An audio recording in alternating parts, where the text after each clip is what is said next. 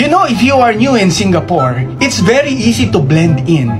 Just put la at the end of your sentence. For example, Hey, come on, la. Let's go to Sentosa, la. Very nice, la. Wow. Ah, I don't know, la. I'm hungry, la. Let's go and eat, la. Bonus word. The word alama. Alama! I shit on my pants, alama! I hope you learned something. Alama!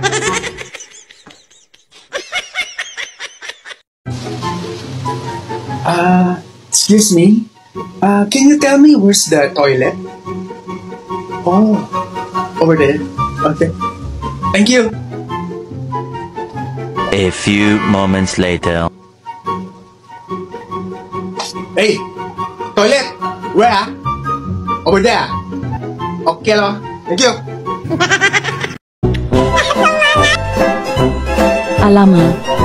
Walau eh. Are you?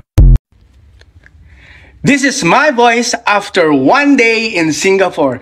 I love the weather. It's not too hot, it's not too cold. I love the food, especially Hokkien mee and bak kut teh yum.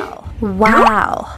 So this one ah, is my voice after one week in Singapore. You know the transportation system here ah, is very nicely, huh?